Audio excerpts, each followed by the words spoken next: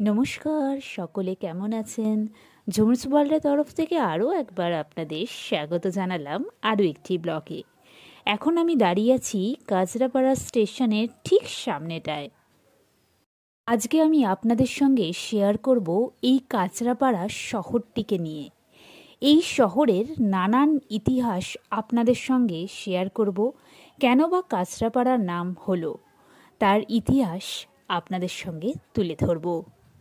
কাজরাপাড়া শহরটি কিছুটা অংশ ঘুরতে ঘুরতে নানান গল্প আমি আপনাদের সঙ্গে করতে থাকব। চলুন তাহলে, বিষয়ে আসা যাক। আমাদের অনেকেরই মনে হয় যে এখানে আগে হয়তো কাচরা ফেলা হতো। সেই জন্য এর নাম হয়েছে কাচরাপাড়া কিন্তু সেটা সম্পূর্ণ ভুল। কাচরাপাড়া নামের উৎপত্তি সম্পর্কে বিভিন্ন নামের মত পার্থক্য তো রয়েছেই।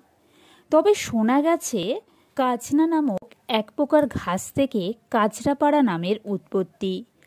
আবার কাচরাপাড়া গ্রামকে কাঞ্চনপল্লীও বলা হয়ে থাকে। সম্ভবত অনেক কাঞ্চন ব্যবসায়ী অর্থাৎ স্বর্ণের ব্যবসায়ী এই গ্রামে বসবাস করত। সেই জন্য এই গ্রামের নাম হয়েছিল কাঞ্চনপল্লী। আবার শোনা যায়, এখানে অনেক বিদ্যান ব্যক্তিরা বসবাস করতেন এবং অন্য অন্য পল্লীকে হেয় করার জন্য কাঞ্চনপল্লী নাম দিয়েছিলেন। এটাই পরে বিবর্তনের মধ্য দিয়ে কাঞ্চনপাড়া, কাছনাপাড়া, কাজলাপাড়া, কাছড়াপাড়া এমনকি কাতলাপাড়াতেও রূপান্তরিত হয়েছিল। তবে শহরটি উৎপন্ন হয়েছে ভাগীরথীর চর থেকে। অর্থাৎ ভাগীরথী নদী এই কাজরাপাড়া পর্যন্ত বিস্তৃত ছিল।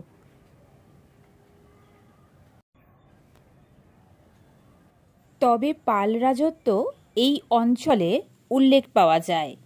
এই স্থানে পাল রাজবংশের একটি নৌহাটি অবস্থিত ছিল।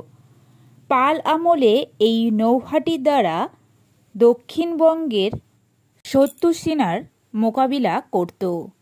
এই স্থানে যে নৌহাটি ছিল, তার ফলস্বরূপ বলা যায় বর্তমানে গ্রাম কাজরাপাড়ার অন্তর্গত। মাঝের চরে একটি পুষ্করিণী খনন করার সময় ভূগর্ভ থেকে সুপ্রাচীনকালে নিদর্শন স্বরূপ নৌকা ও মাজদুল এখান থেকে পাওয়া যায় এবং এইসব নির্মাণের যন্ত্রপাতিও পাওয়া যায়। তবে দ্বিতীয় বিশ্বযুদ্ধের সময় উনিশশো তেতাল্লিশ খ্রিস্টাব্দে সেপ্টেম্বর মাসে গ্রাম কাচরাপাড়ার মল্লিক অঞ্চলে ঘোষণা করা হয়েছিল উক্ত স্থানে আদিবাসীদের গ্রাম ছেড়ে দিতে হবে এবং তাদের পাওনাগণ্ডা ইউনিয়ন বোর্ডের অফিস থেকে বুঝে নিতে হবে। উক্ত স্থানে মিলিটারিদের ঘাঁটি ও শিবির বানানো হয়েছিল। উনিশশো তেতাল্লিশ সালে এখানকার গ্রামবাসীদের উঠিয়ে দিয়ে মিলিটারি ঘাঁটি বসানো হয়েছিল। এটা কুড়ি একর জমির ওপর। রাতারাতি তৈরি হয়েছিল একটি পূর্ণাঙ্গ সামরিক ঘাঁটি। তখন থেকে এই জায়গাটির নাম দেয়া হয়েছিল রুজভেল্ট নগর। দ্বিতীয় বিশ্বযুদ্ধ শেষ হয়েছিল উনিশশো পঁয়তাল্লিশ থেকে ছেচল্লিশ সালের মধ্যে।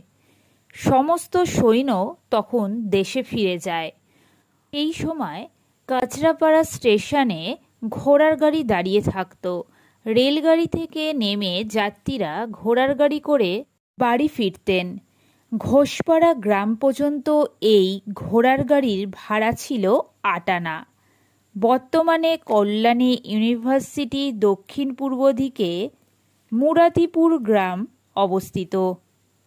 এই গ্রামের জমিদার বাড়ির পাশে ছিল বিখ্যাত সাহিত্যিক বিভূতিভূষণ বন্দ্যোপাধ্যায়ের মামার বাড়ি।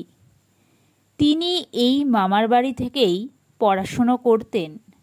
তিনি ঘোষপাড়ার একটি গ্রামে পড়াশোনা করতেন।